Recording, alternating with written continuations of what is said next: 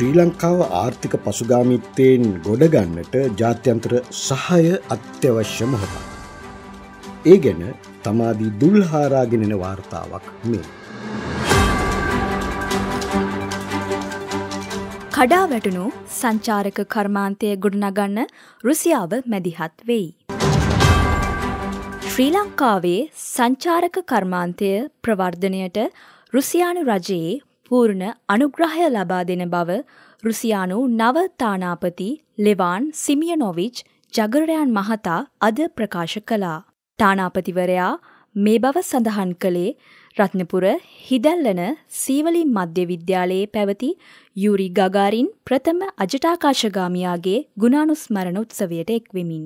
එහිදී තවදුරටත් අදහස් දැක් වූ රුසියානු තානාපති Levan Simeonovich Mahata. My message is don't go to Europe, come to Sri Lanka. As to the tourists, Russians are number one.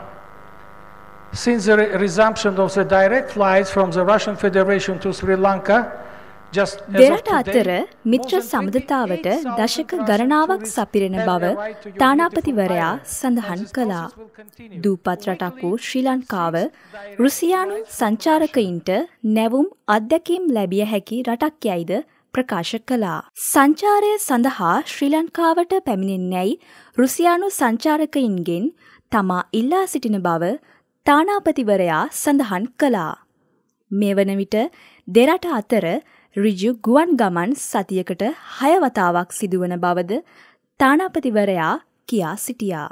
උසස් අධ්‍යාපනය සඳහා ශ්‍රී ලංකාවට පිරිනැමෙන රුසියානු ශිෂ්‍යත්ව ප්‍රමාණය පණහා දක්වා ඉහළ දමන බවද එහිදී තානාපතිවරයා ප්‍රකාශ කළා. Uh, we uh, just decided to increase uh, the number of scholarships for the students from Sri Lanka to 50.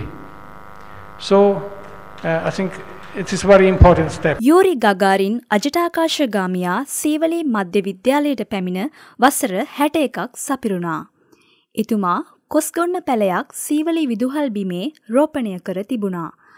අද විශාල වෘක්ෂයක් වූ එම කොස්ගොන්න ගස ඉදිරිපිට ඉඳි වූ ගගාරින් පිළිරුව නිරාවරණය කිරීමද තානාපතිවරයා අතින් සිදුවනා. සීවලී තාරකාවිද්‍යා සංගමය මගින් මෙම වැඩසටහන සංවිධානය කර තිබුණා. මෙම අවස්ථාවට රුසියානු තානාපති කාර්යාලයේ පළමුලේකම් මාරයා ලියෝනි දෝනා පපෝවා මහත්මිය ඇතුළු දූත පිරිසක්ද එක්ව සිටියා.